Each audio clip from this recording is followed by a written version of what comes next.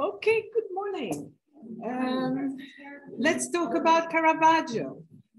And uh, for those of you that were not there uh, last time, we saw his early works. But right now, as you can see by the title, we're going to talk about his triumphal period, which really starts at the very end of the uh, 16th century, when, thanks to his uh, patron, Cardinal Del Monte, he's going to uh, start getting some very important commissions. And from the first commission on, he's going to get others because his art is so revolutionary, so different, and so beautiful. Uh, what is interesting is that from all these uh, very large uh, commission he received, all of them are still in Rome, and six out of the, the lot are still in situ, so still in the churches.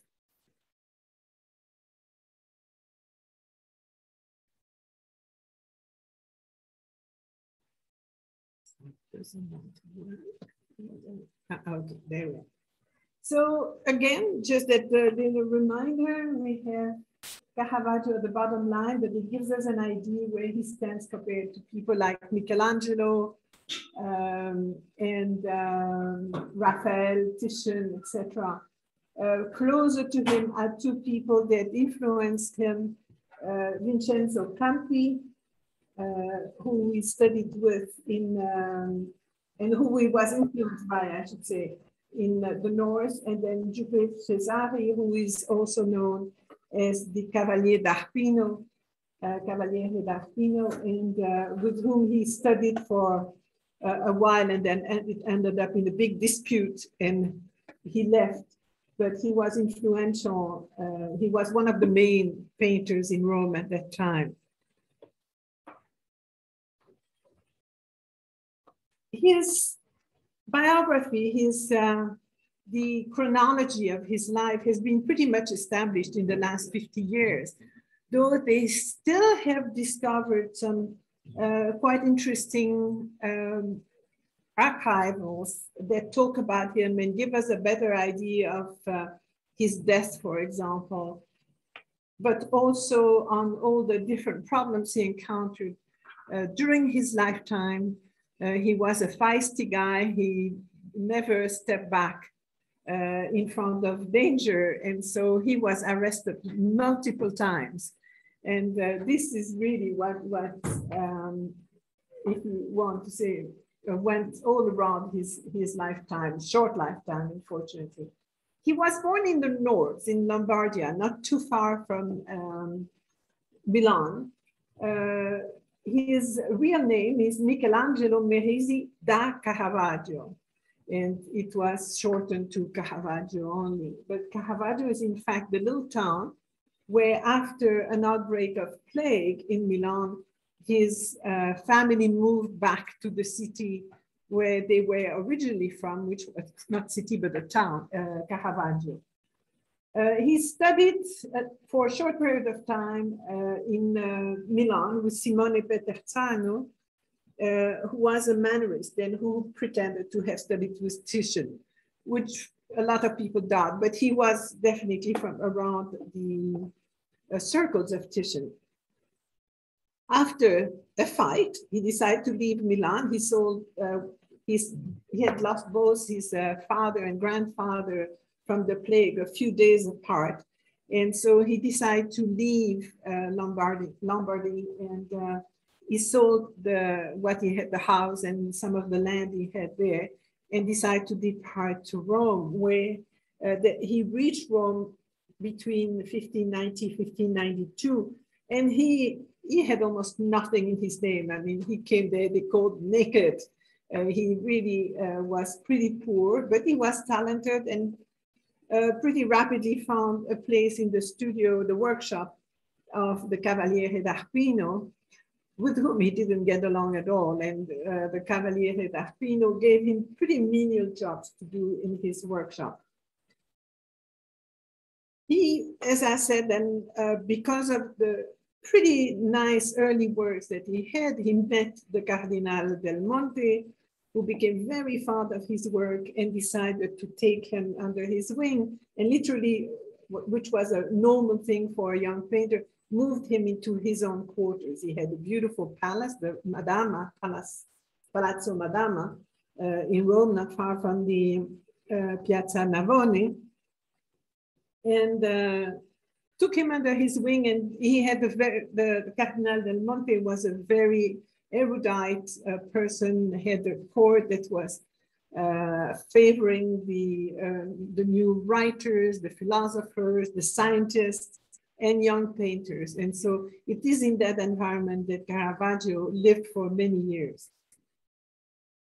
In 1606, and I'm shortening it because we're going to go through all the details in between, we will see that he will have to flee Rome after killing um, a man that was not very nice. And actually, we're not sure that he intentionally killed him.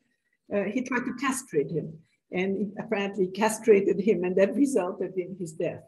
Uh, whatever that man that was a real, you know, a real brigand um, was from a pretty high family.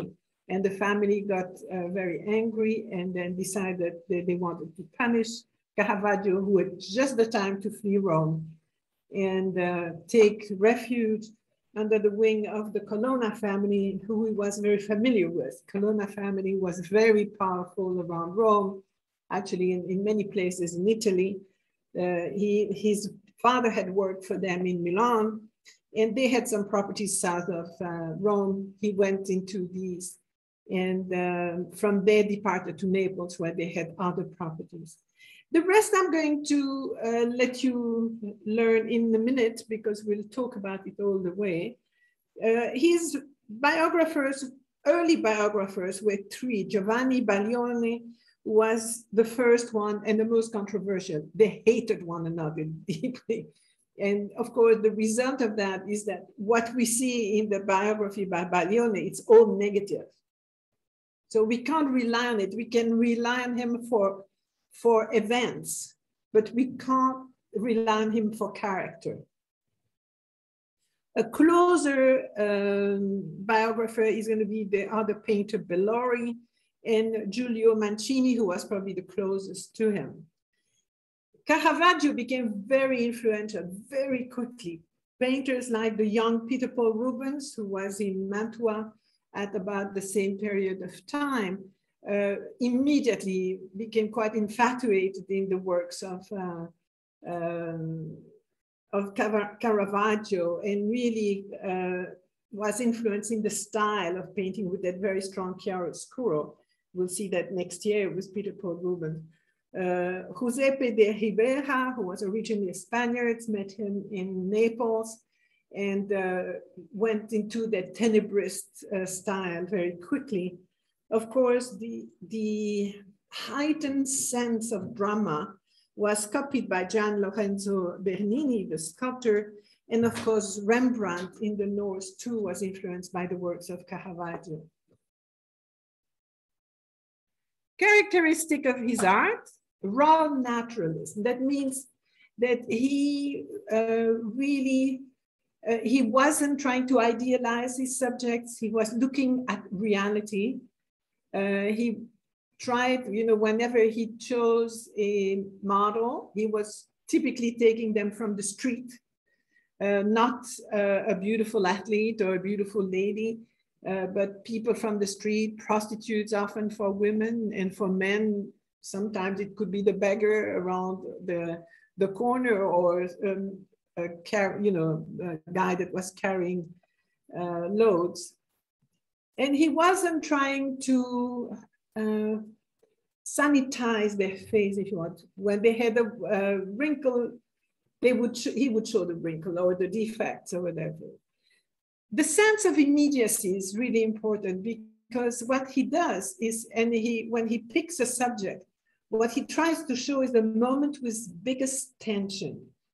It's what is the, the highest moment, uh, the peak of the action uh, that he uh, can imagine if it's, for example, a, a, Bible subject or whatever, biblical subject. The play of dark and light is something that is more typical in the North than in Rome at that time. We see it starting with Tintoretto, that plays, it's also a, a result of theater, the, um, the fact that theater became very popular at that time. And as uh, Caravaggio was a, um, an, a night owl, he would love to be outside during the night. Uh, he enjoyed theater, he enjoyed the costume, theatrical costumes. But also we have to imagine how theater was played at that time with torches and lenses that would illuminate the stage. It was still uh, giving for kind of ghostly figures when you were there because the, the, it emphasized the uh, shadows. So this really gave that radical reinterpretation uh, of uh, the secular and religious subjects. We will see how, again, he doesn't show what has been traditionally uh, made by previous artists. And I'm going to show you, uh, make some comparison so you'll be able to see that. Also, one thing that he does, he decides to completely leave the um, technical uh, tradition of the Renaissance, where any painting was prepared with uh, drawings, preparatory drawings, modello, uh, modelli, I should say, were small paintings that they could submit to the patron to see if he agreed with it he would paint what is called alla prima, which is immediately paint on the canvas without underdrawing. Sometimes some incision with the butt of the, the brush to just show where the main figure would be. And that's very typical of Caravaggio, and it's also going to influence other painters. So as I mentioned, from the uh, around the turn of the century, he's going to start getting a series of religious commission. And I'll give you a list here for just what he did. Sorry, I don't know what happened. Okay. Uh, that's going to disappear. So he's going to have, we have a whole series of new churches, so new decoration. It takes a while for the church to be built, but then they need some decoration. And so we have uh, two commissions for Augustinian churches, Santa Maria del Popolo and San Agostino. Uh, two that are really coming from new orders uh, that were founded during the Counter-Reformation. Uh, Santa Maria della Scala for Discalced Carmelite, discalced meaning no shoes, so they were people that had no shoes. And Santa Maria in Vallicella oratoriums, and these were from St. Philip of Neri. Also, French clergy, the San Luigi dei Francesi, is the church in um, Rome that was uh, dedicated to French people. So there was a whole French colony there. That was the church where most French people would go. And then confraternity, uh, the confraternities had chapels that were that they were uh, in charge of and they, they would decorate. And uh, um, the Palafrenieri, I think I'm saying it correctly, we'll see it in a minute, um, had a chapel in, in the Basilica St. Peter and uh, ordered a, a, painting by Caravaggio for that, but it was very quickly moved from uh, St. Peter to a church nearby that also had an altar uh, for that confraternity um, because they thought it wasn't following the normal decorum for the subject matter. And this is something that uh, Caravaggio is going to encounter many times, that he wasn't uh, giving the proper decorum to his composition, and therefore um, they, he would be, his works would be rejected. Sorry, um, the wrong side. Okay. So the first um, large commission he received is for San Luigi dei Francesi. Uh, that's um, just beside the Piazza Navona, for those of you that have been uh, to Rome. It was the National French Church of Rome and um, actually entitled to the Virgin Mary and Louis IX, Kings of France, who was also canonized uh, you can actually see on the, the facade a series of statues that recall the history of France with Charlemagne, St. Louis, uh, St. Clotilde, and St. Jean de Valois, so different saints that were uh, native of France. The church was also chosen as the place for sepulture for the higher prelates and members of the French community uh, in Rome, including, by the way, Claude Lorrain, the, the great uh, 17th century painter uh, who spent most of his career in Rome, is buried in that church. In 16, 1565, uh, so the um, a French Monsignor Matteo Contarelli, despite his very Italian name, uh, acquired a chapel in the church. And uh, despite the fact that he died 20 years later, it had not been decorated yet. And it is his descendants who are going to give the commission to um, uh, Caravaggio. So again, the recommendation comes from the patron of Caravaggio at the time, the Cardinal del Monte, and so the contract was signed on the 13th of June, uh, 1599. And this is done very uh, formally in front of a notary because uh, they that protected both of them. It protected the people, the, the, patrons, to make sure that the painting would come on time with the proper, uh, that was painted by him, if it is in, in this case, with the proper pigments that were of good quality and so on. It also stipulated the price that the painter would receive.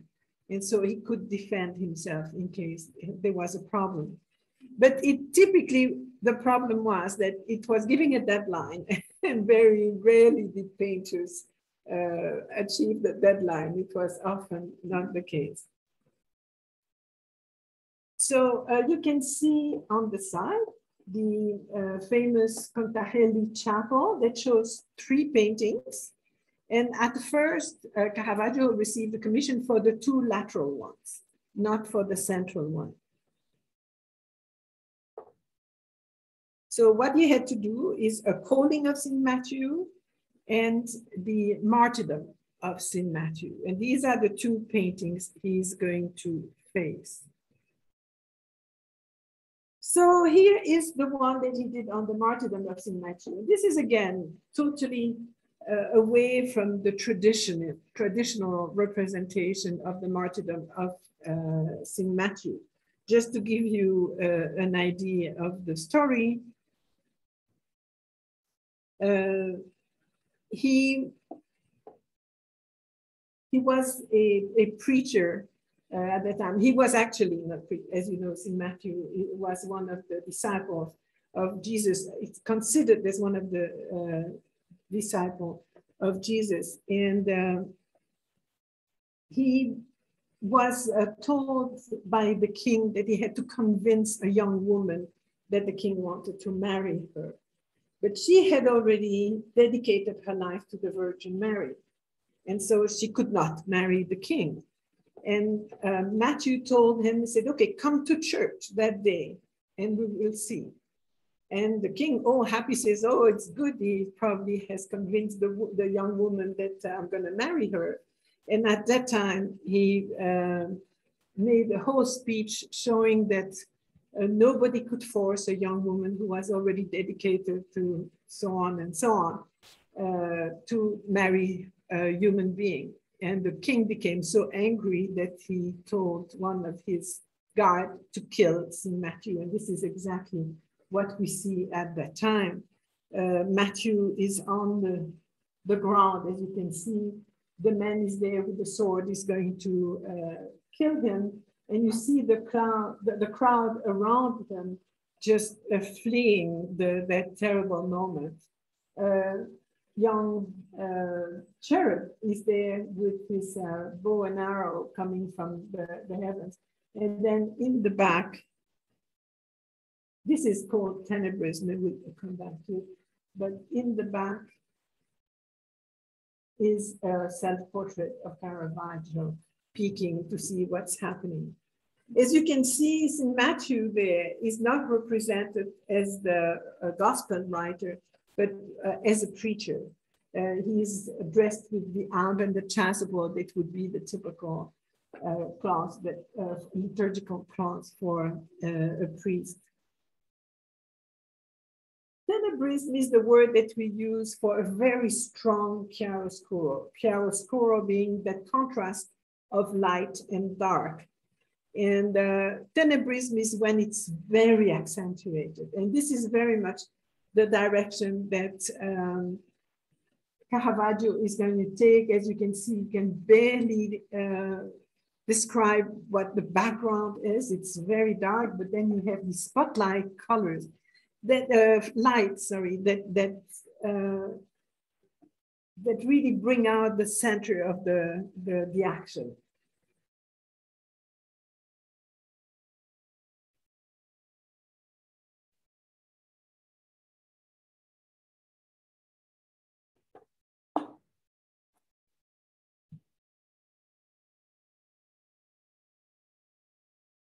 And by the way, it's not unusual to have a, an artist portraying himself into a, a painting like this, which would be recognized as in sense, in a sense, a profession of his own piety, to show that he was a witness of that miraculous moment. As we can see in uh, this uh, X-ray that you see on the right, the painting has been modified uh, multiple times. So you can see that at first St. Matthew was almost standing and now he, he, changed the position. So you can see many figures uh, that he changed. After having painted, he decided, no, I want to, to have them in another, uh, another position.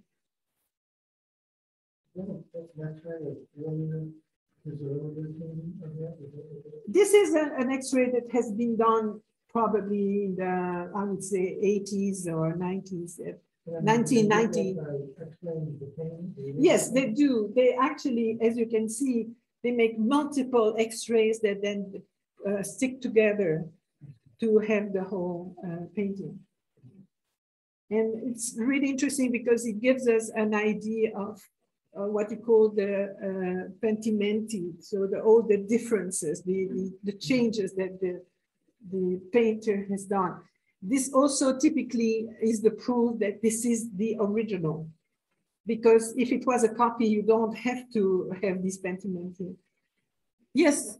Are the lines or that the folds or the squares? No, they just the squares, you know, x-rays are limited oh, yeah, in size, yeah. and so they make X-ray, X-ray, X-ray, and then they stick them together.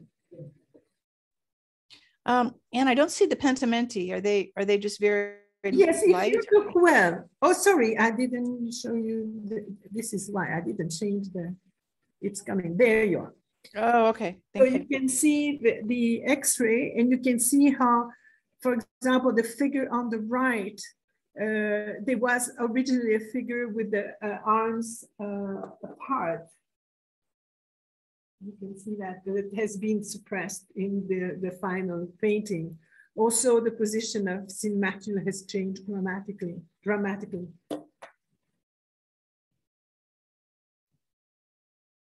Sorry for that. The other painting, and this is uh, one of his famous early work, is the uh, calling of St. Matthew. Very interesting uh, work because again, it's completely different to the traditional representation of the calling of St. Matthew, which typically happens outside. Christ comes and then designates uh, the tax, um, the tax man uh, to follow him. Here, what he does, he comes into that, that tavern Matthew is sitting down with uh, his uh, uh, helpers, and as you can see, they're counting the money on the table, the taxes that they have been able to, to uh, raise from uh, people. And when from the door comes Jesus next to Peter, as you can see, only part of them see him. And this is a big symbolism the one that see Christ is the one that are going to believe in him. The ones that uh, completely ignore him, like the, the, the, two figures here at the end, are the ones that are not going to recognize and are not going to be the believer. So that's, uh, there's always that underlying uh, meaning. So the light comes very, very strongly from the, the right, as you can see, it comes down, illuminates the faces. But there is also a light that illuminates the, the head of Christ. And uh, the, the, the way that he uh, designates uh, Matthew, who responds by pointing on himself, shows, are you talking to me? You know, is uh, quite interesting. And this is going to be an extremely influential paintings. All these paintings um, sometimes were copied, but also they were all copied on engravings, and that very quickly was circulated around uh, Europe.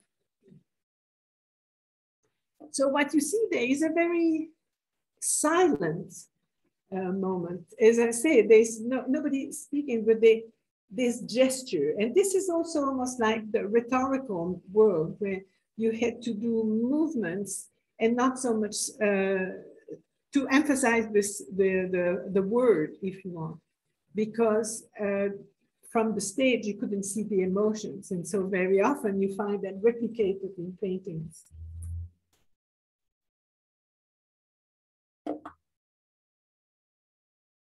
As you can see in the blow up, this is the, the gesture of the hand is directly imitated from Michelangelo's uh, creation of Adam.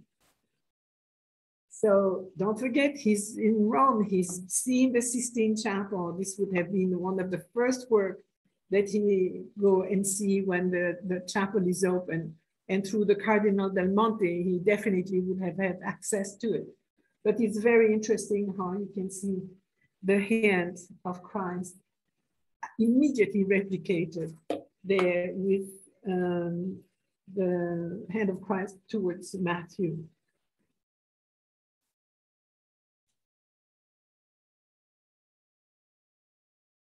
So very interesting painting because again of that tenebrism, that, that great contrast, the realism of the figures. Uh, also uh, another um, contrast, and then go back to that so you can see is that the figures around Matthews are all dressed up with contemporary clothing, but Christ comes into with an antique uh, way of being dressed. So trying to, to show Christ as he would have been into his own period of time.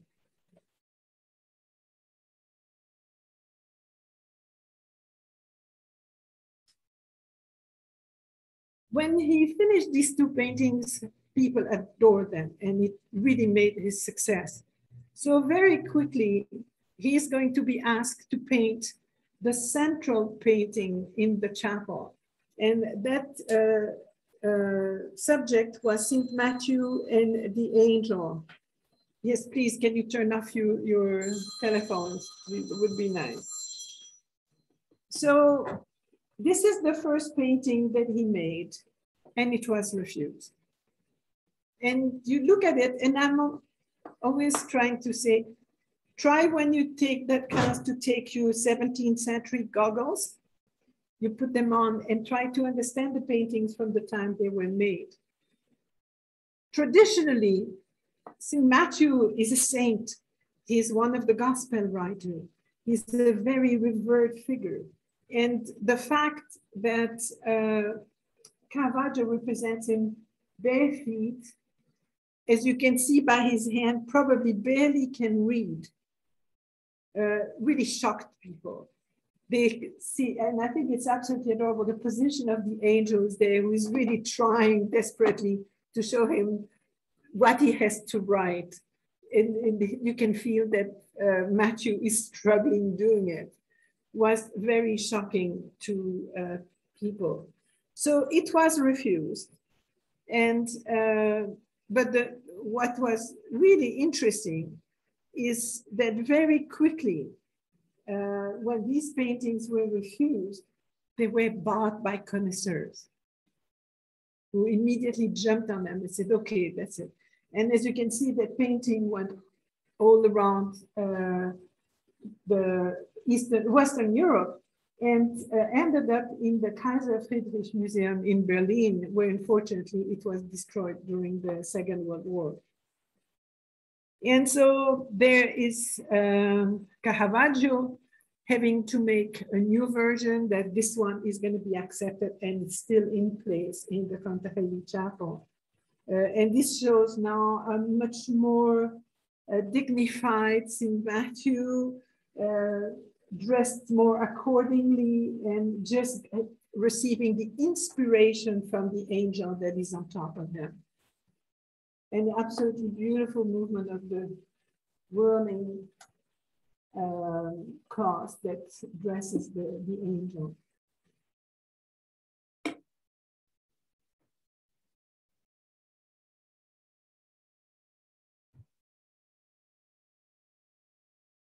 Before he actually started this painting, he already had received another commission, this time for the Cerasi Chapel in Santa Maria del Popolo.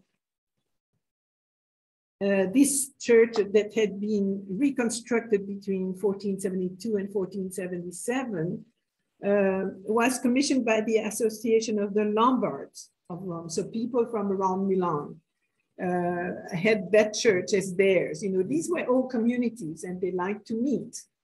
Uh, and church was one way. And I assume they went on after that and had, them, you know, lunch or whatever together. The uh, church that you see now was updated by Bernini later on. So just to give you an idea, the Cerasi Chapel is just next to the main altar. And he is going to get for that chapel the commission for a martyrdom of St. Peter and the conversion of St. Paul. And so that was started before he started the last painting for the Contarelli chapel. And here is the chapel. So very interesting to see because these paint, uh, we have the two paintings by Caravaggio. And then in the center, a painter that was as famous as Caravaggio at the very time uh, Caravaggio is in Rome and we're talking about Carracci and this is going to be the lesson next time. And so the Carracci, Annibale Carracci painted this and you can see that incredible difference in style, in color scheme uh, between the uh, painting by Carracci, who is more of a traditional classical type of painter, though he's going to renovate uh, in many ways the style of the Mannerist. But uh, the, the big difference, these are really the two trends that we find in Rome, is the Carracci on one side, and we have the Caravaggio on the other, and that they are united in this uh, particular chapel. The reason actually for the subject is that Mary was the patron of the church and Peter and Paul were the patrons of Rome. And so this is why the subject was chosen uh, by uh, this uh, patron.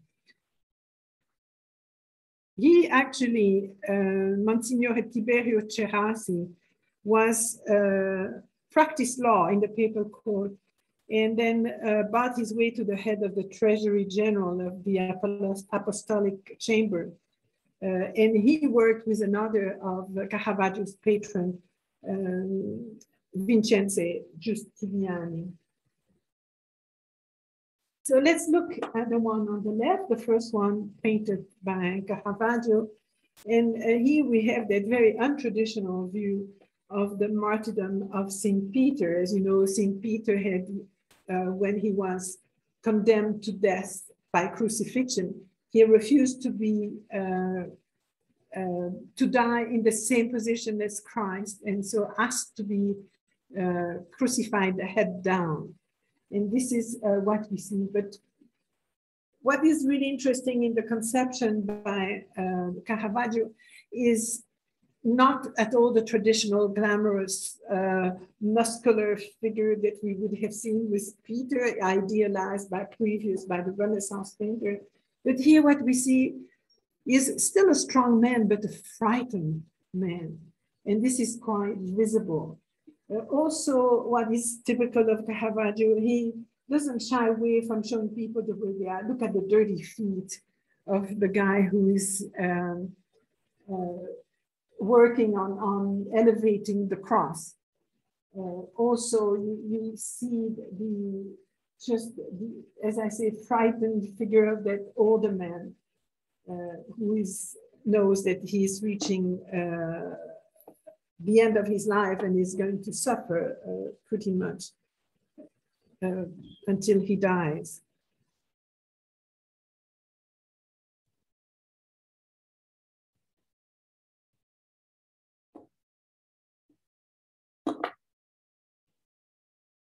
Also, what um, um, Caravaggio does, he brings the subject very close to you. So you cannot just starts wandering around the painting to avoid, even if something is painful.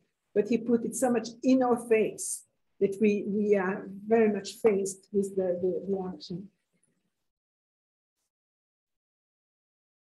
That's the face of one of his torturers. And then the face of Peter, very frightened. In the sense, uh, this would have been, for example, a very typical traditional way of representing uh, a, uh, a painting. And this is what we'll see. Um, this would be the uh, Renaissance approach uh, to the conversion of. Paul. A lot of noise, a lot of people around him. He's on the ground. There is the uh, hand of Christ from that comes from heaven and is uh, telling him to believe in him instead of uh, mark, you know, of going around and, and killing the, the Christian. So this would have been what you call a traditional representation of the conversion of St. Paul. So when Caravaggio did his first version for the conversion of St. Paul, this is what he came about, uh, showing uh, Paul barely dressed. Uh, some people there, but no Christ, no figure of Christ. It was kind of confusing for people. They did not uh, like what he was, uh, what he had done, and again, that was refused uh, by the the patron. And then he made the second version, which is the very famous uh, conversion of St. Paul, which is absolutely extraordinary. Uh, but uh, still untraditional because what do we see first is the horse. And not the best part of the horse the back the back end of the of the horse. But it's absolutely extraordinary and then it's by the light through the light we go down and we see uh, paul on his back uh, arms apart and responding to that voice and that light that he's seen in the sky that we can't see. So we can only guess that representation. So what is interesting, he was asked, you know, why giving such a prominent place to the horse? And he says, but he's seeing the light too. so that was his answer. But it's an extraordinary representation. And it is so isolated and because what you see is Paul there, the groom, we can barely see him, he's holding the horse. But uh, this is that moment that's going to change Paul's life, and we know how important Paul became to Christianity. Is, yes. the light coming from heaven? Yes. Wow. Yeah, that's oh, yeah. really what what uh, was you know said in the Bible is the, or the act of the apostle, I should say, uh, is that you have normally Christ appearing in, in, in the sky, and that actually they don't even talk about a horse, but it made sense with the, the uh, title of Paul at that time and um, doing a lot of uh, mileage uh, around the country that he would have been on a horse. But it's only the tradition that brought the horse in, but it was nowhere written. But the idea that, yes, there was that very bright light coming from the heaven, and the idea of um, uh, Saul, Saul, why do you persecute me? That was the word of Christ. And so uh, from that time, Saul converted and took the name of Paul instead. And I think you said it before, but. Instead of actually looking at an event, it's almost as if he puts you in the event. Yes, So you feel like it's almost three dimensional. You feel like you're physically in the. yes, and, the and that's very much what he brings in. So the question was, the, the, the comment was that, uh, in fact, Caravaggio doesn't make you just a witness, he brings you within the, the action uh, itself. And that's what makes him so efficient, you know, efficient in uh, his new style. Here is a blow up of the figure of uh, Paul.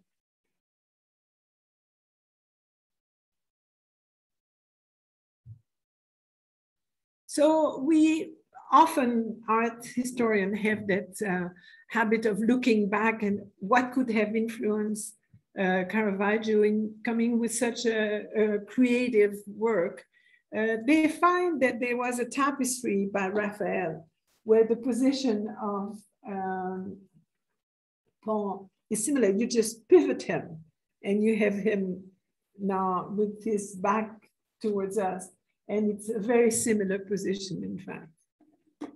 And there are other people trying to find what, in, you know, what uh, gave him the inspiration for the big horse and so on. So there's so many possibilities and maybe he just saw a horse one day with somebody had fallen next to him. You don't know. His third uh, big commission for uh, is for Santa Maria della Scala at Trastevere, uh, which was uh, uh, not built for them, but later granted to the Italian Discalced Carmelite. So around 1600, the friars built a monastery next door, and uh, they were known for making um, herbal medication. And so they had a whole workshop there to prepare medication uh, for the Pope and for others. They had a garden where they, they used to, uh, to do that. So now uh, he is going to receive for that church uh, the commission to make uh, a painting representing the death of the Virgin, or better known, named the Dormition of the Virgin. But for him, it was the death, not the Dormition. At that time, the concept of as the assumption of the Virgin was not clearly enunciated yet. It was not part of the dogma, but it became a tradition already. It was already kind of a tradition. So when the friars saw this representation of the, the mission of the Virgin, or death of the Virgin, they were horrified because uh, many points. First of all, uh, Caravaggio, to respect the friars who were discalced Carmelite, made all the apostle, everybody bare feet, just to follow what they were doing. But what was the most uh, horrible thing was the representation of the Virgin, who always had been shown very glamorous, even in death. And here, what happens is that he takes as a model uh, one of the prostitutes that he knew very well. And uh, on top of that, probably uh, looked at a woman who had drowned in the Tiber River and that had been uh, taken out and had that swollen belly and so on. And so he gives that very realistic image of the Virgin as a death woman with, a, as you can see, swollen stomach, uh, bare feet, not glamorously dressed, just as she's an ordinary woman. And this for them was just too much. So they refused the painting. Just want to show you a detail so you can see even better. And it's absolutely extraordinary, extraordinary with uh, Mary Magdalene in front who is crying on, on her death. It was refused, but there was a young painter north in Mantua who heard about it and convinced the uh, Duke of Mantua to buy the painting very quickly. And uh, as soon as it was refused, the Duke of Mantua, uh, Gonzaga, um, bought the painting. And then it was either offered or was bought by the King of England at that time, Charles II. And when he got uh, killed, it was it ended up in the collection of Louis XIV and is now in the Louvre. So that explains why it ends up in the Louvre. And then the painting, that extraordinary painting, was replaced by a much more traditional uh, representation of the Dormition of the Virgin, where she doesn't look dead at all, but ready to be elevated to uh, the heaven. And this is Carlo Saraceni, who was Uh, one of the followers of Caravaggio, who painted this much, much more traditional representation of the Virgin. It's only in the 1950s that the, the concept of the Assumption becomes part of the dogma, really. So it's going to take a while. So when you go to Santa Maria del Popolo, that painting is not there, of course, it's the one by Saraceni, which is there. The next big uh, commission, as you can see, it's one after the other, uh, is the Vittrice Chapel in Santa Maria in Vallicella. Uh, the contract, uh, he received the contract at the end of 1601 and started the execution uh, in from uh, in 1602, and that was going, going to go on until 1604.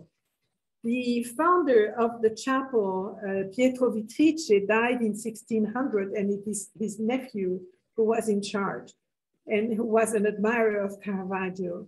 Uh, already had one of uh, Caravaggio's painting, and he's the one who gave Caravaggio the commission for the painting in that uh, uh chapel. And as you can see there,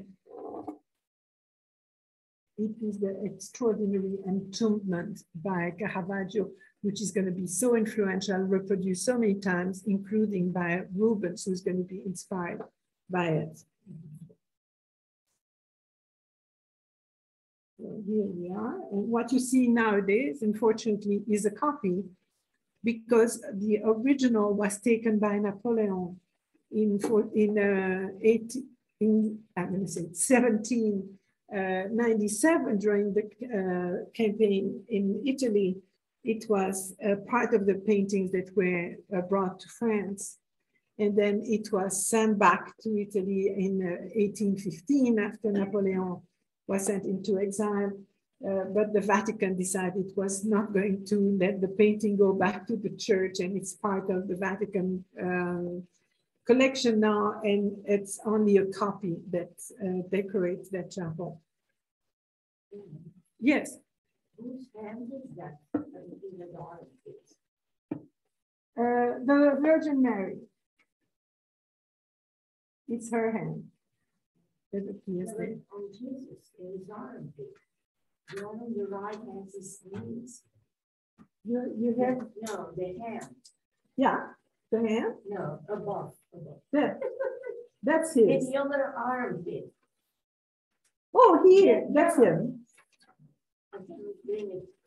No, it, this is him. This is his. Oh, it's in John. It's in oh, John. Yeah. Yeah.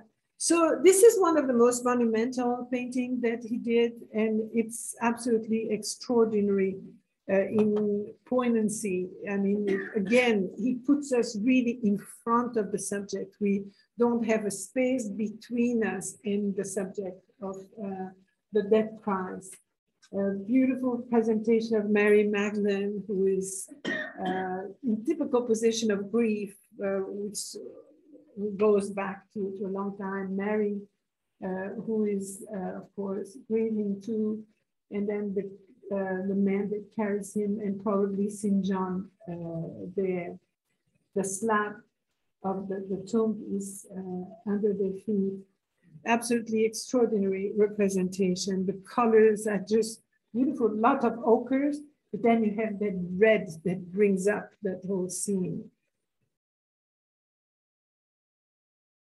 It was influenced by his old master, Peterzano, who made this painting.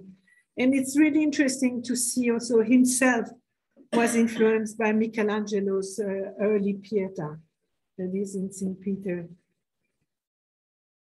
But the whole plasticity of the figures that you find in Caravaggio's uh, is, is just extraordinary because he really conveys the weight of the body. Often when you see that scene of the entombment, you wonder how they carry it because they seem to be doing that with the little finger. But here you can feel the sheer weight of the body of Christ and the effort on the head of that man.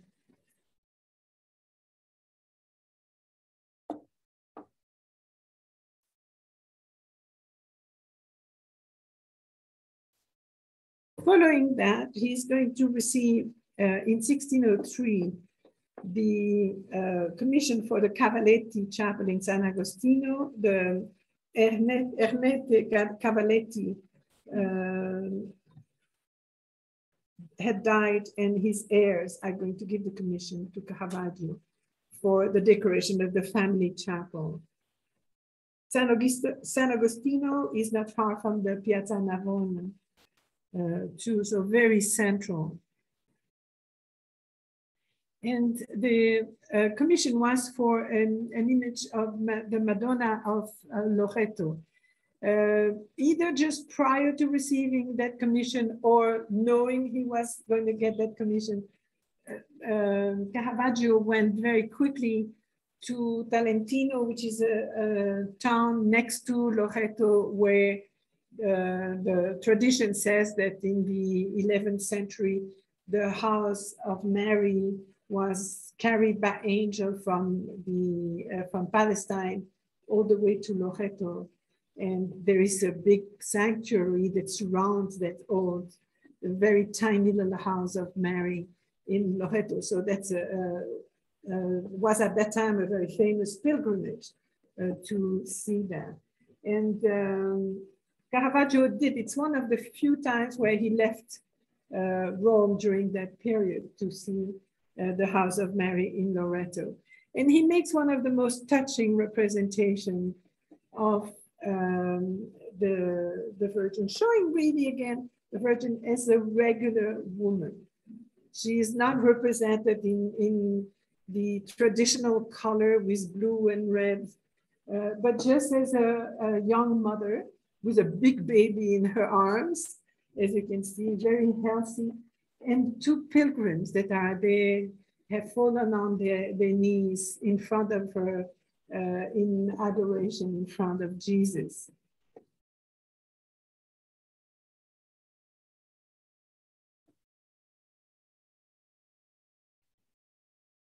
The painting is also, by the way, called the Madonna dei Pellegrini, of the pilgrims.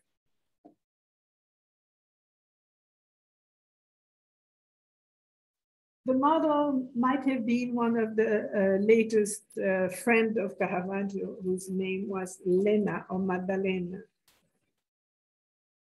But the painting is shown with a lot of affection. It, it's a very beautiful, very soft vision of uh, Mary, the mother, and not only mother of her own child, but mother of all of us.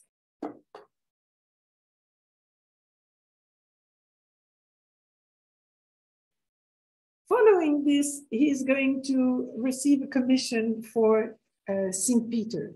And that was for the uh, chapel of the, the Pala, Palafrenieri.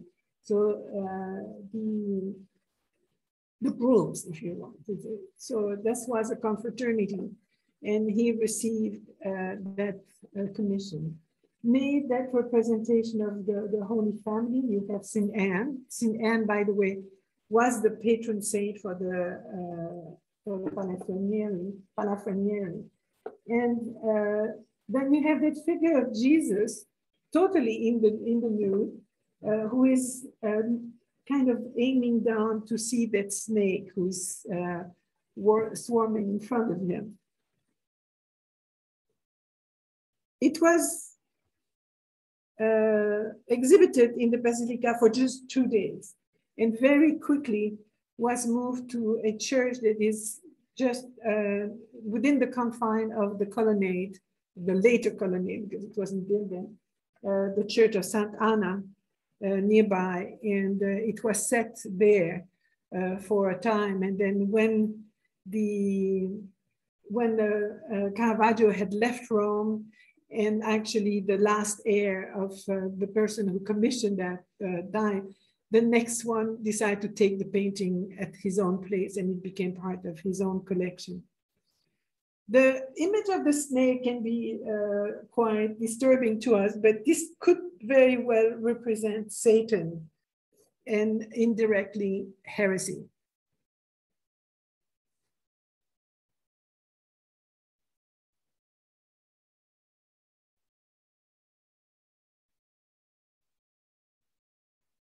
And we see very often when you see an image of Mary, uh, the Immaculate Conception, she's crushing a, a snake under her feet.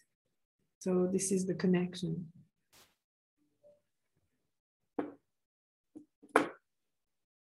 So the uh, it ended up, by the way, the collection of Cardinal uh, Scipione Borghese, who became an incredible collector of Caravaggio. It's, it's again beautiful because of the light, you have again that you, the, these figure emerge from the darkness and then you have that beautiful light that bathes them.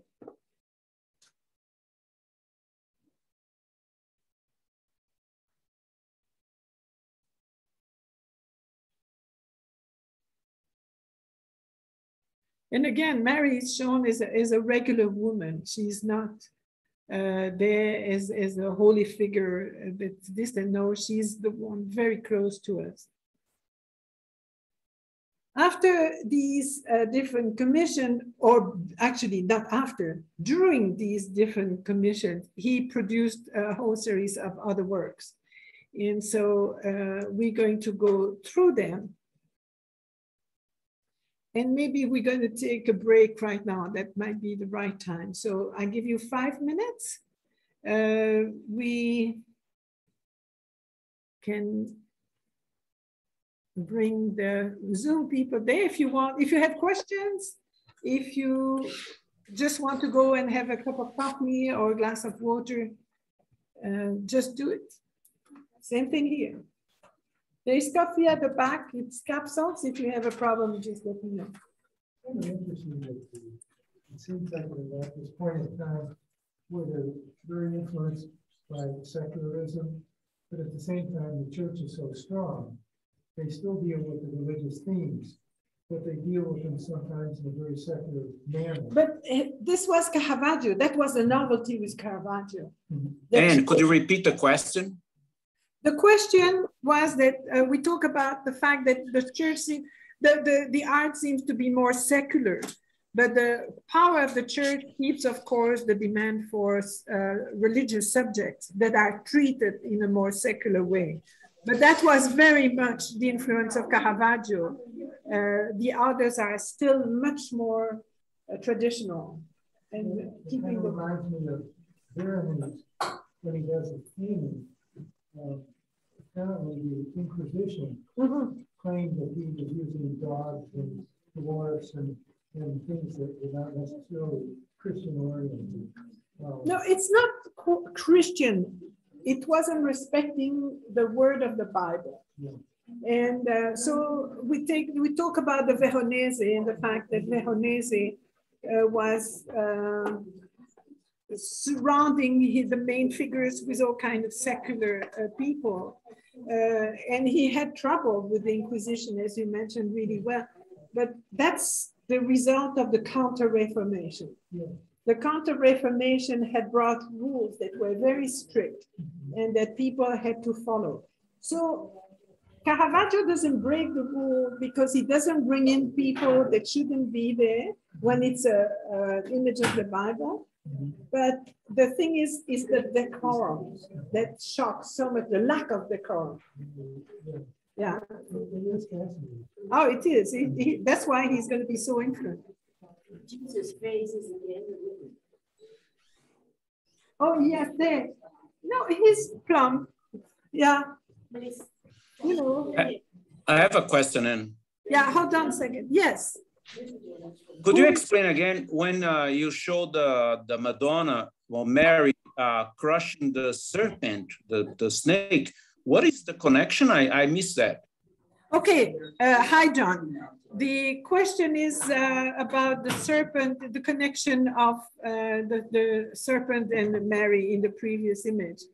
Uh, it is, uh, serpent would represent probably uh, Satan and heresy. And the fact that when you see images of the Immaculate Conception, you often see the Virgin crushing a snake under her feet. Uh-huh. And so that's a similar thing, but in a much more realistic way, because there's the snake and, you know, he's threatening them. But this is uh, Satan or heresy, and they're going to be crushed by either the foot of Mary or even maybe Jesus. Cool. okay, good. Okay. Curious about the symbolism in that um, painting, the the martyrdom of, of Saint Matthew. Um, so so some of the people have on 15th, 16th century clothing, and the the soldier that's ordered to murder him is almost naked. Yes. You know Yes, why? why That's, you know, it might not have been a soldier, it might have been a slave. oh, okay. So, uh, Is that the symbolism of being of him being uh, not having any clothes? yeah, but there's also the artistic liberty there. Uh, as you know, a naked body was much prettier to represent Oh, okay. than- than somebody in a uniform. All right. And it gave much more uh, force to, to the to the painting. Yes, it's a very it's a very primitive figure. It's kind Yes, of short and uh, very muscular, super muscular and very Yes. Almost And that's primitive. Probably why he's a slave because he would have been used to, to hard work. But that whole series of commissions was incredible, and it's fortunate, except for the entombment that was very, very, uh, very much admired, and that's why it became part of the list of uh, works that Napoleon wanted to bring back. It, yeah, because he had a, he didn't have a big studio, he didn't have a big workshop. He moved to, once he leaves Rome, he's on the run all the time. So he can't have a big studio. Pardon? No, no, no. He was a man of opportunity. He liked both girls and boys.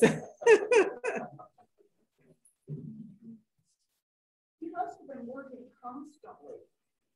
He was working a lot, but that was, you know, was a huge output. it's huge output for the number of years that he lived. Yeah. Yeah, because I'm showing you, let's say probably, I would say 90% of what he did. Uh, we won't insist on many, uh, but just wanted you to see them.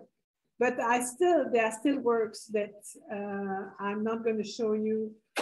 And some that are, there's a lot of attribution that have been made in the last 30 years or so. And not everybody agrees with it. And I would tend to agree with the doubt. So I'm not showing you these. Yes. From whom did he uh, learn to use light like this? Like there's so much contrast.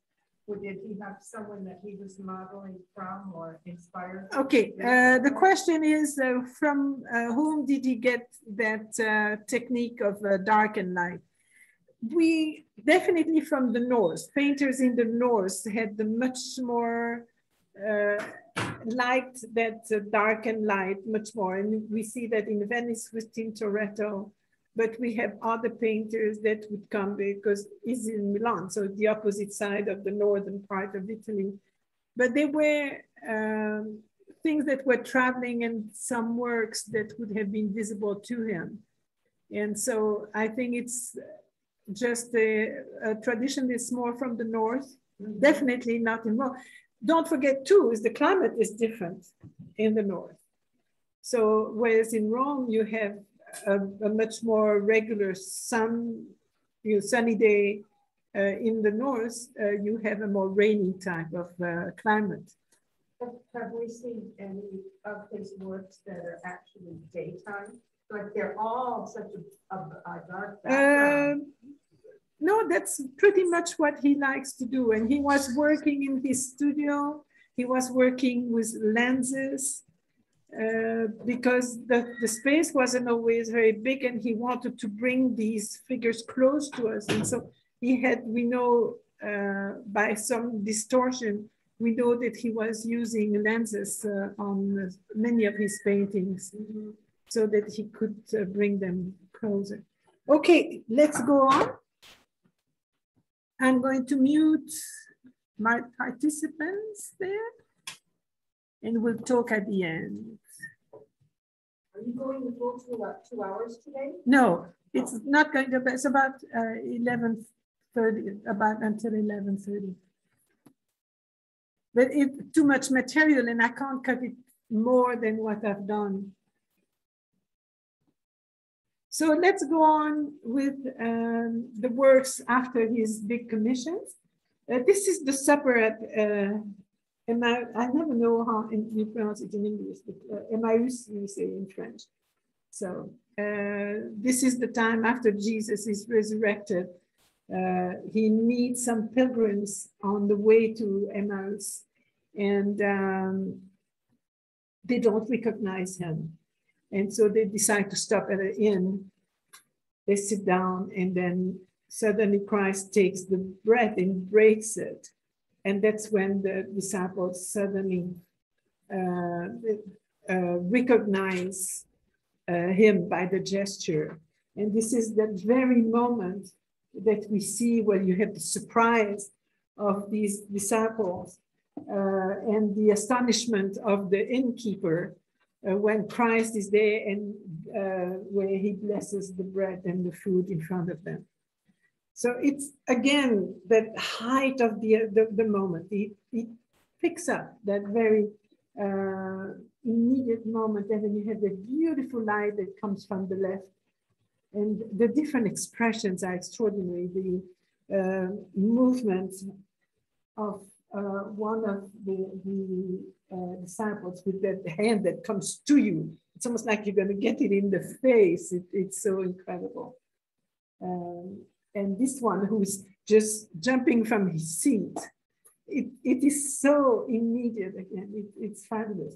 He takes again, he goes back into some earlier work that he's done before, the basket of fruits, uh, that first still life that we always celebrate and puts it there at the very edge of the table as it could fall off. Yeah, not the, this is the term, is it trompe l'oeil? Coupler. No, th this is what you would call the okay. foreshortening. This is called the, the term for that dramatic uh, movement, uh, that very uh, drastic um, movement that comes to you, very difficult to paint, by the way, is called foreshortening. Mm -hmm.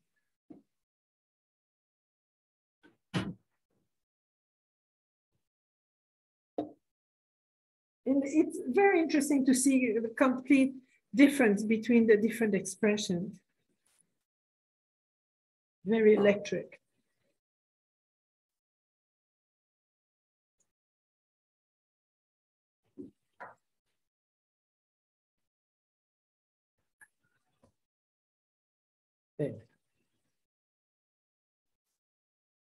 And then the still life at the bottom, which is so, so beautifully represented.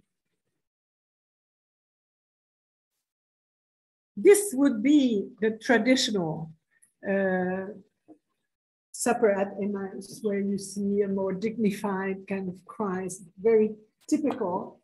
Uh, the innkeeper totally unaware of what happens, and the others with a, a more muted uh, surprise, if you will, the far not as gestural as we see with uh, Caravaggio. And then he's going to produce a whole series of St. John the Baptist, and I put them more or less all together so we can uh, see the difference.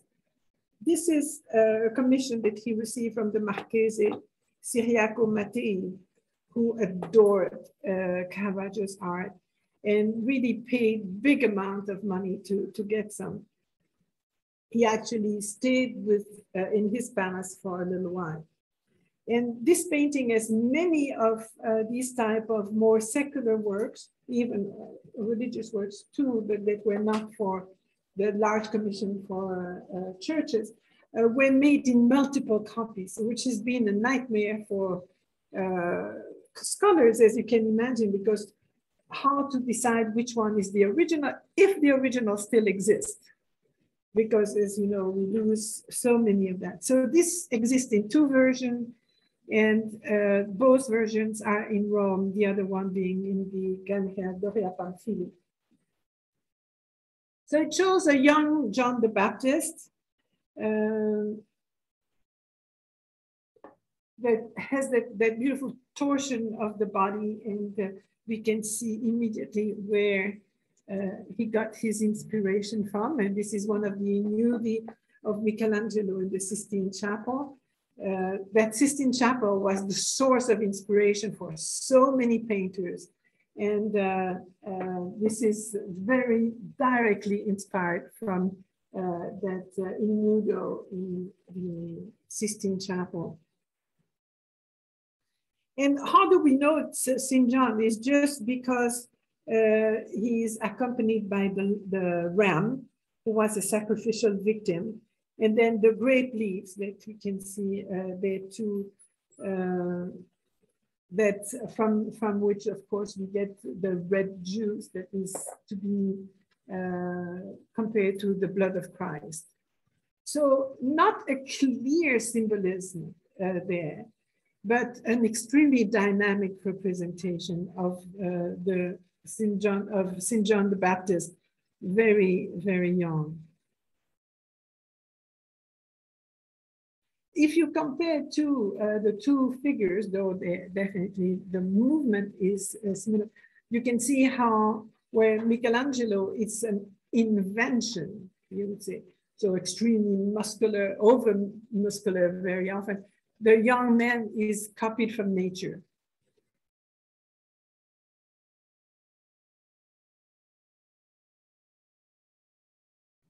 Uh, two other, uh, John the Baptist, a little later, in the, around 1603.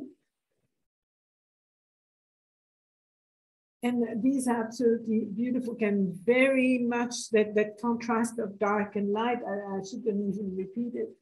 But the, the way you can see, this is a, a definitely a model. You can see the tan line around the, the, the, so you know that it was a real person that he painted and not an invention, uh, very tanned hands too, you can see, and then the beautiful light on the, the skin of the torso, and then that red uh, wrap around him.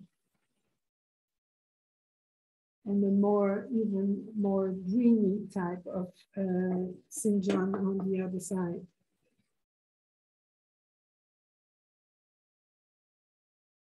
And this is to be compared with previous versions of uh, St. John the Baptist, much more formal, more traditional, one by uh, the workshop of Leonardo, and the other one, a work by Titian.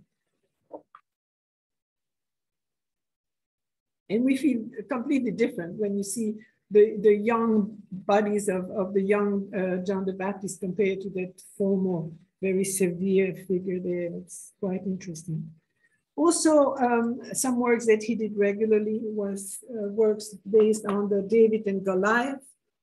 Uh, he did one uh, very early, and this is the kind of in between where we barely see the face of uh, David, who is there, uh, just has decapitated uh, Goliath and is holding his head in, in the hand.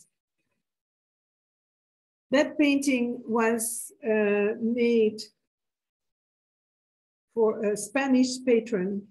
Um, he was quite known already in Spain because uh, he had influenced um, Ribera and Zurbarán so, so much. So th there was a lot of uh, talk about ambassadors coming from Rome, etc., that new, young new painter. And so he became very quickly a successful uh, painter for uh, Spanish patrons. Now, put your 17th century goblet on. because this is probably one of his most controversial paintings. And we have to understand it seen by a 17th century patron.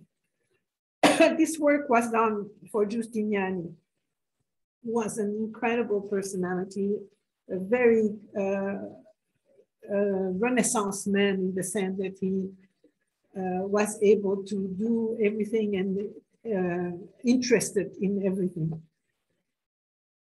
What we see in front of us is a, just a young man, very free, as you can see, with these wings that, by the way, Caravaggio had uh, borrowed from another painter, uh, Gentileschi, the father of Artemisia, uh, that was a prop that he had in his studio.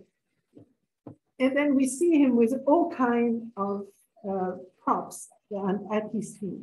What this seems to us, uh, 21st century people, and can be shocking, is there is a young man very open physically to us, and uh, uh, we think very quickly abuse, you know, and think of, of a child abuse almost in the same, which was not the case at the time because a lot of urchin, urchin uh, young kids were running naked in the streets. We have to realize that in Rome.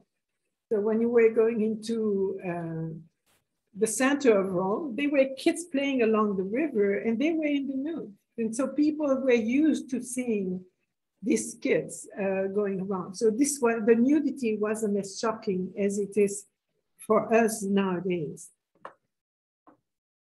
The idea of amor vincit omnia, or, or uh, amor victorious, uh, comes from uh, a sentence by uh, Virgil, omnia vincit amor and nos cedamus amori, love conquers all. Let us all yield to love. Uh, and this is, uh, in a sense, again, a very intellectual concept uh, that was requested by Giustiniani, where he uh, wants uh, Amor to show all the things that he has conquered. And what we can see is, first of all, the family of Giustiniani had ruled Chios, the uh, Greek island, until its capture by the Turks in 1622. Uh, and so uh, this is the idea of the coronet. You have this little crown there. Uh, that is just a sign that they were the ruler of the island. The Marchese also wrote about music and painting, and that's why we have pens and musical instruments and manuscripts at the bottom. He was also constructing an imposing new palazzo. Therefore, we have some geometrical instruments around. He studied an astro astronomy. There was, that's why there is a uh, sphere. It must be lost into uh, in here. Uh, and then he was praised for his military prowess, so therefore there is an armor. So all the, the, the object that you see there at the bottom have to do with Giustiniani himself and all this very rich personality. And then you have that young, very free-minded young man on top, who is Amor. And Amor was what vanquishes all. This was uh, received tremendously when it was painted. Giustiniani actually had it covered with a drape, not to hide it, but when people were coming to his home, he wanted them to see all the paintings before he would open the drape and, and unveil this painting, which he thought was the most extraordinary of all.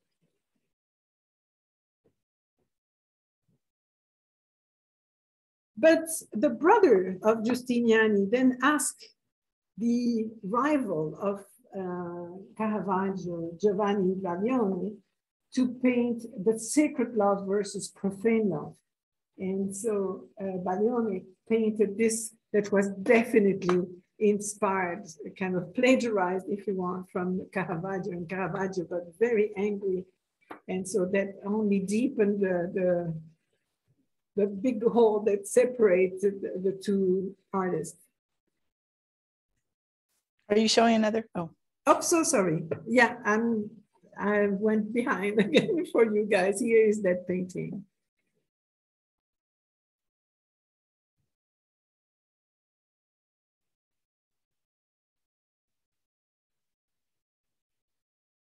So other paintings that he did, this is um, 1603, the sacrifice of uh, Isaac, painted for Maffeo Barberini, um, where he replaces actually the lamb by a ram, and that makes that connection between, uh, it links the Baptist to the sacrifice of Isaac uh, with in the prefiguration of the sacrifice of Christ.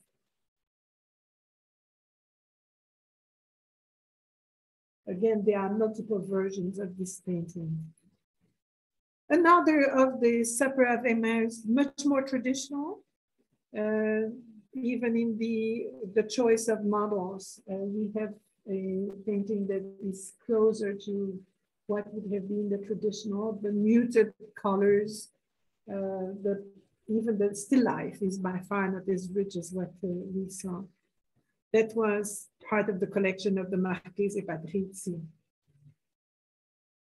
And then two paintings about St. Francis. Uh, the one here, uh, two, both uh, St. Francis in meditation.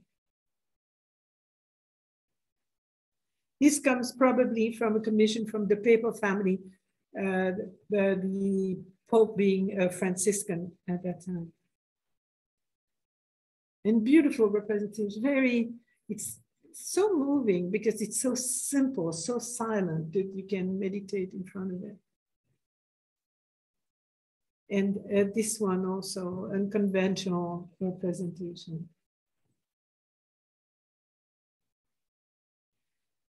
But as we said, at that time, uh, he gets really in trouble. On August 1603, Caravaggio is like, no, sorry, he had already been in trouble before. And I'm passing all the arrests that he is going through. He is arrested all the time because he knocks one down, he, he throws something at the head of somebody else, sometimes wounds some people. He's accused of libel by Baglione, that other painter we saw before, in jail for two weeks, and then he's in, on house arrest for two months.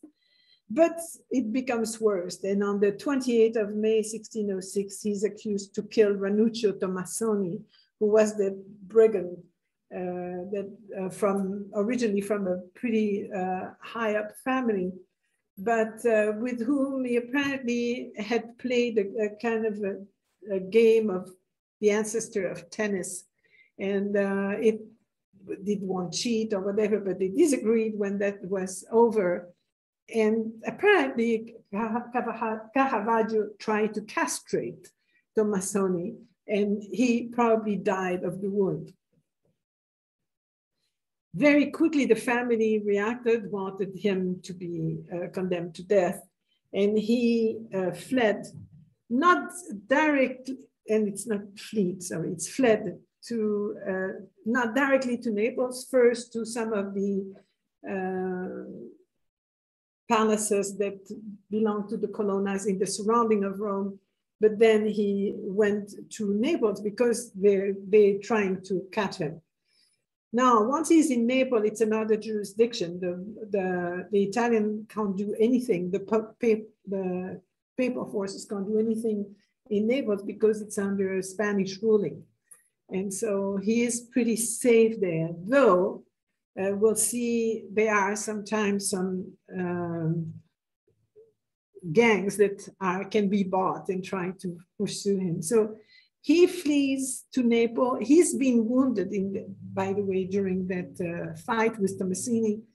Uh, so he's taken care of. He paints quite a bit, meets a lot of painters from Spain, Ribera and others. Uh, and um, finally, to escape people that are still trying to, to go after him from Tomassoni, he sails to Malta, where he gets a letter of introduction from the Colonna to the Knight Hospitallers. And he will stay in Valletta for over a year.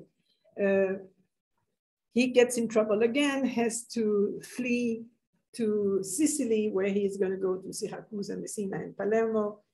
And then finally, uh, thinking that he is going to be pardoned by the Pope, he goes back to Naples and then will try to go back to Rome.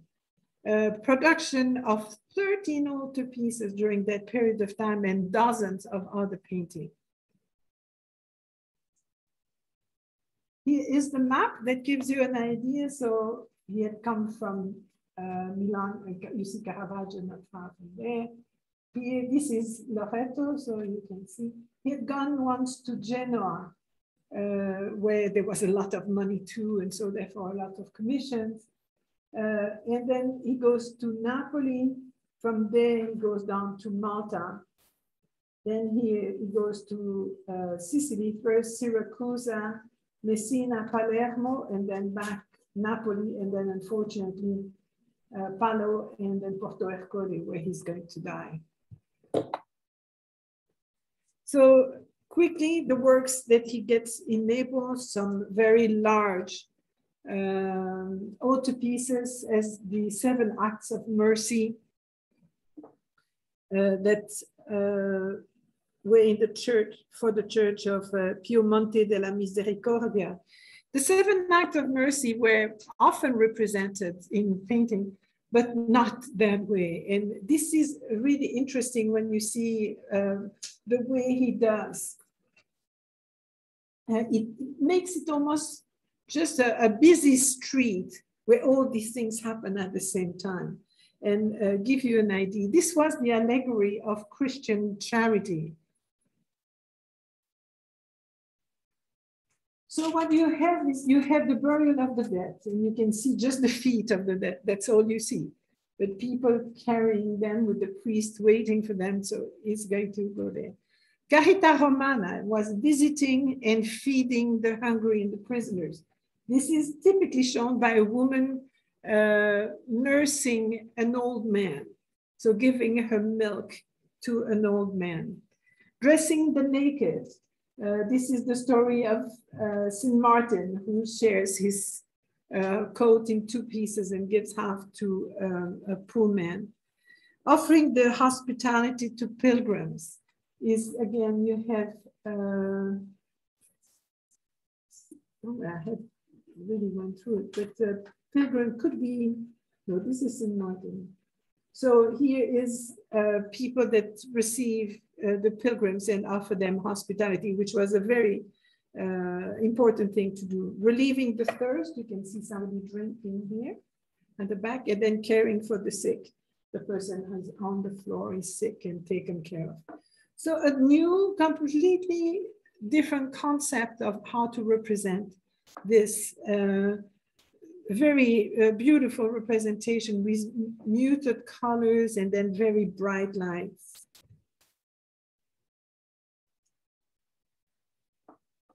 very large scale is that painting commissioned probably by the Duke of Modena in 1605 uh, and was uh, started, he started painting it uh, when he was in Naples. And this is the Madonna del Rosario.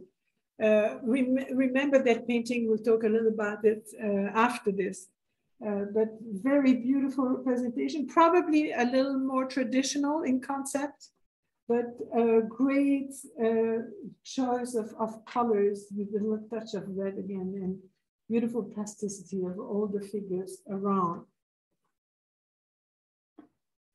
Uh, this was for Dominican church and the Dominicans uh, were the one that really started the, the whole idea of the uh, rosary and the use of the rosary.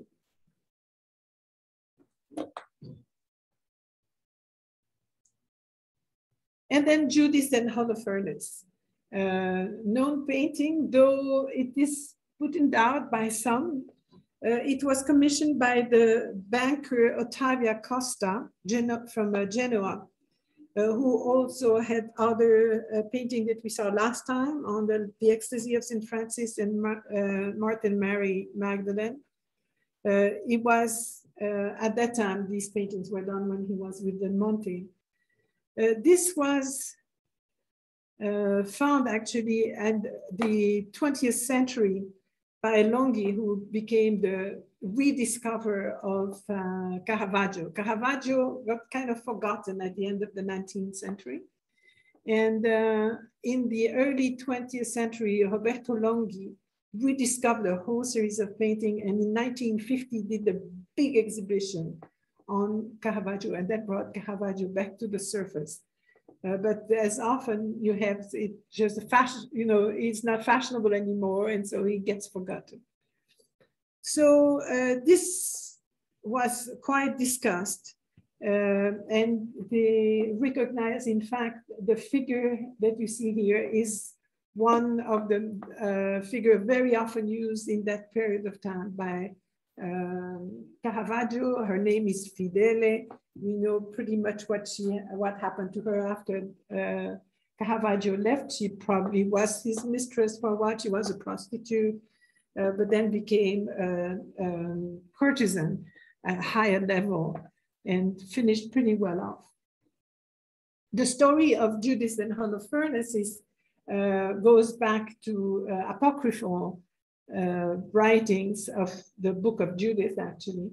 She was a very rich widow in the town of Betulia in Palestine, and the town was besieged by the Philippine, Philipp, Philistines, and um, uh, Holofernes was the general of the, that army.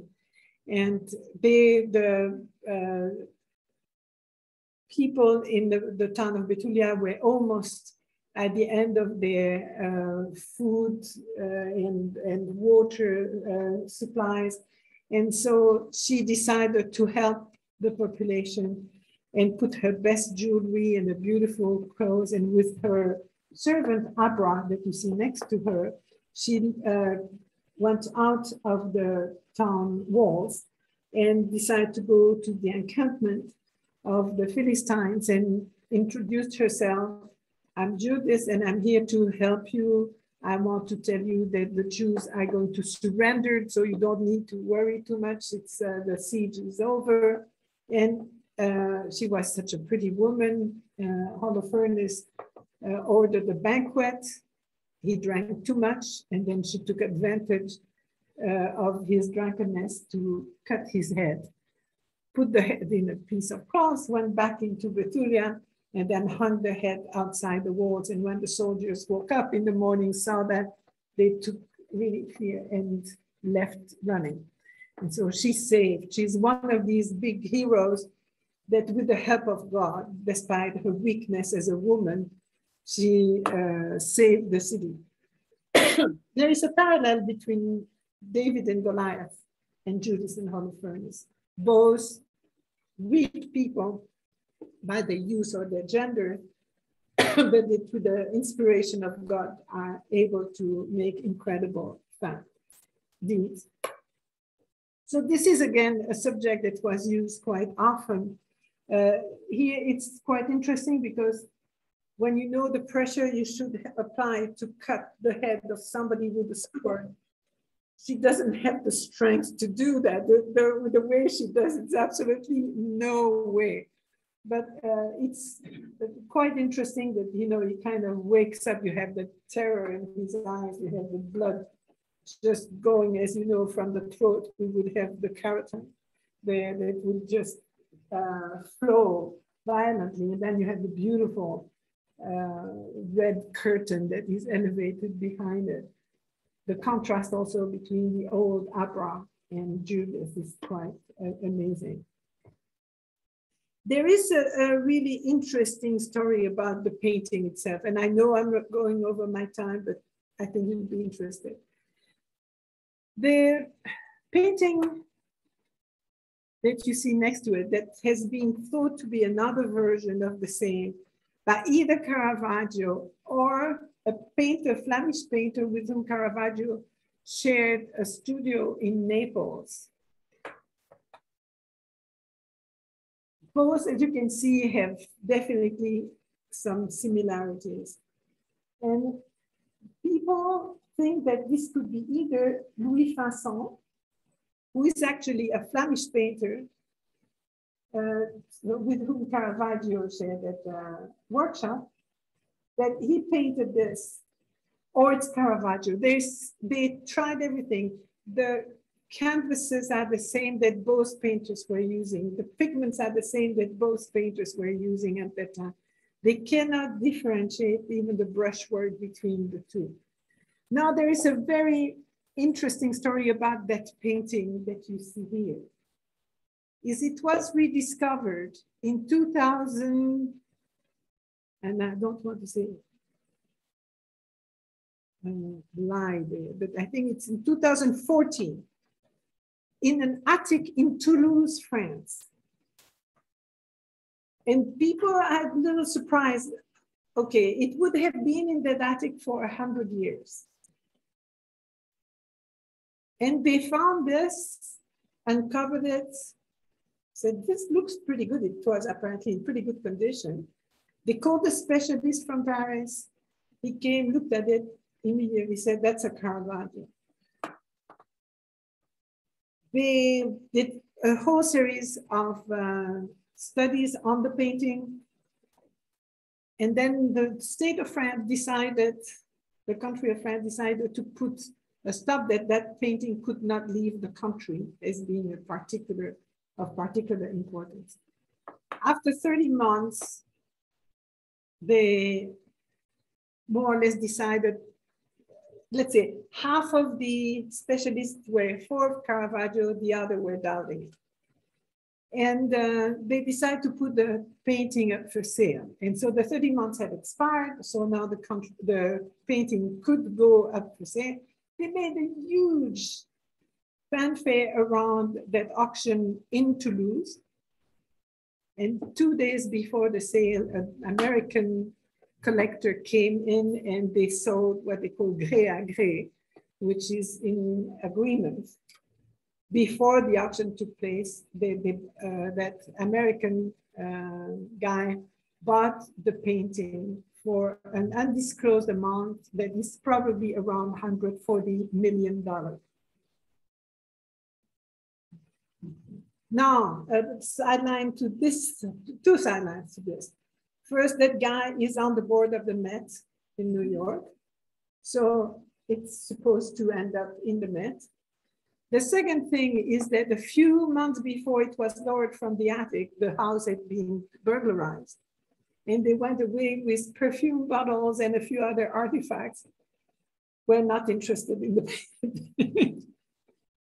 So this is how sometimes you have these incredible uh, stories of painting. Now to complete the story, this one as well as the painting we saw before of the Virgin uh, of the Rosary um, were transported uh, by, uh, by Caravaggio when he left to uh, back to Rome. And so the, the, uh, there was a whole story that went on with that one. These were among the few paintings he had with him. So now after a lot of stories because many paintings by Caravaggio have been found lately. So this is a, a crucifixion of St. Andrew, another representation. And I'm not going to go too much into these.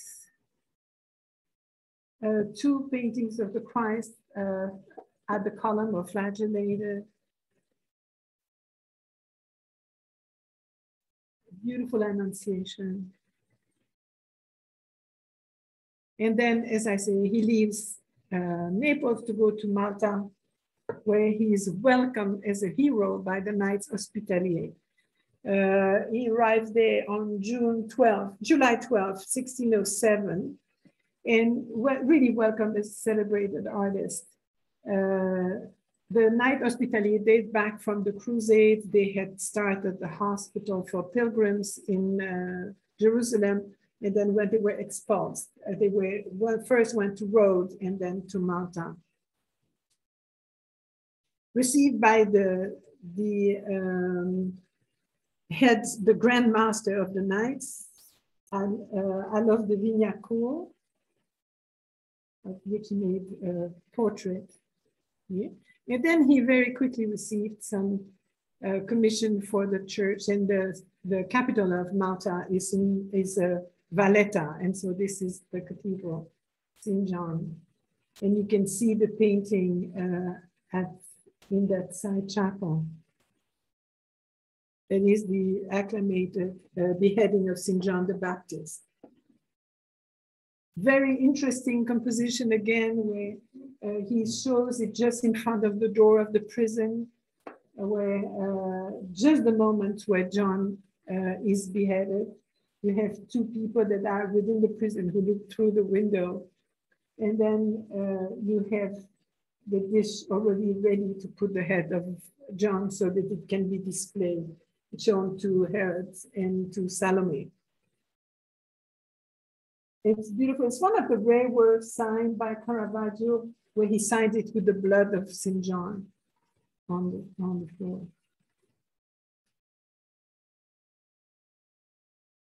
A very odd representation of sleeping Cupid. You can barely guess the wings there, the, the same props that he had used uh, before. But he's not a pretty little Cupid. He's a kind of plump, already older guy.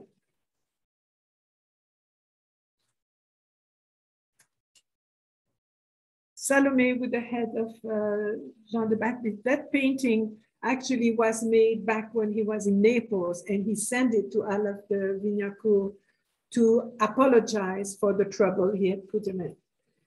They are so happy about what he had done that he, they made him a knight. And he was very happy to be a knight because he always was wearing a sword that he was not allowed to wear. The, the, to bear because you couldn't bear arms unless you had a certain title. And he was always bearing a sword. So he got in trouble with one of the knights and was imprisoned, put in the dungeon, and he escaped from there and then uh, went, uh, had to flee to Sicily, which wasn't too far, and where he had an old friend that was living, a, a young painter. And so later on, he made that painting in Naples that he sent back to him.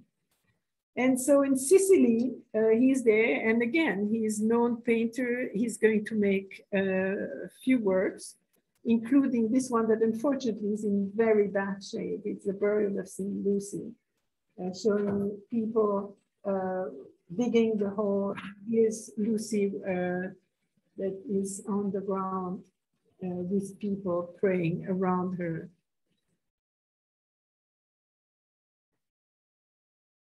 In moves from Syracuse very quickly to uh, Messina, uh, because again, he was in trouble in Syracuse. He's in trouble all the time. And he's asked there to make a painting of the raising of Lazarus. And really interesting, he uses the same figure of Christ that in St. Matthew, but he turns it around.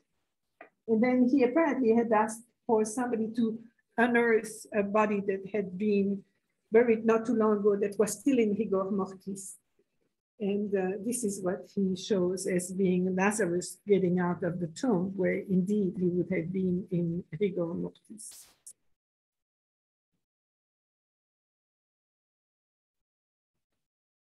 The adoration of the shepherd, this was done still in Messina for the Franciscan, the Capuchin Franciscan in 1609. And then again, he's in trouble in Messina and he has to go to Palermo. And in Palermo, uh, he will paint this beautiful nativity with St. Francis and St. Lawrence for the oratory of St. Lawrence in Palermo. And again, then at that time he thinks, you know, I probably should go back to Naples because I might get pardoned by the Pope. So he goes back to Naples, and there he's going to paint a few things. But the big problem he has in Naples is that he one day goes to the kind of a tavern, prostitute place, or whatever. He goes in, and when he gets out, there are people waiting for him or aren't, and he is badly wounded. Now, there are lots of speculation who were these people. It was definitely waiting for him. They knew he was there. And they, in particular, are going to um, wound him in the face, which was a particular meaning. this was a revenge of honor, was known when you were uh, wounded in the face. And they believe that it is probably not Alof de Vignacourt, but the guy that he had, um, I don't know exactly what he did to him, but it, he had hurt in Malta that had sent his band of armed soldiers to, to catch him. He's going to be so badly wounded that he will need over six months to recover from there. Uh, and uh, is actually going to still be suffering of that when he leaves Naples to go back. Beautiful uh, painting of the martyrdom of St. Ursula. You can see her, the, the Han, the king there has uh, thrown in an arrow in her breast and she's looking at her breast with the arrow in it. And he still holds the bow. And uh, this is how she's going to be martyred because she refuses to marry that savage. The denial of St. Peter really, again, really beautiful use of light to have the confrontation between the woman who tells Peter, but you were around Christ, weren't you? No, no, no, I don't even know him, you know, and three times. And then the soldier gets in her face. And, now, and one more of the John the Baptist, very dreamy uh, representation with the ram. And then finally, we don't know what is really the last of the paintings by Caravaggio. This is one of the last. Uh, the Caravaggio, uh, the David and Goliath, with the, the figure, the, the features of Caravaggio in the face of Goliath. Uh, and beautiful use that kind of disgust on the face of David is just beautiful. But uh, this is when things get uh, really bad he his life was unraveling, and so it's still under the protection of the Colonna family. Uh, but he's seeking the pardon, and so there is a succession of people who are going to work to try to get to the, the Pope and get him pardoned. And apparently, the Pope pardons him. He sends a painting to a customer in Genoa and then he packs his stuff and goes on a, a small frigate along the coast of Italy, thinking that he goes back to Rome, gets out at a fort, it's called Palo, and he's arrested without any good reason, probably mistake identity. He's put in jail, and during the time he's in jail, the ship goes off with all his stuff on, his paintings, his tools and everything. He comes out, he's sick. He probably is still suffering from the wounds that he had. Might have malaria because there was a lot of malaria along the, the coast of uh, close to Rome. Uh, he also was suffering because they had seen progressively his character was getting worse, probably uh, lead poisoning that was influencing his character he tries desperately to go and meet the, the ship at Porto Ercole. It's a little north of Rome.